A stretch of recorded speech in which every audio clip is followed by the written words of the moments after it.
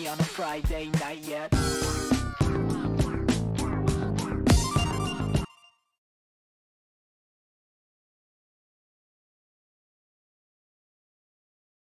Three, two, one, go!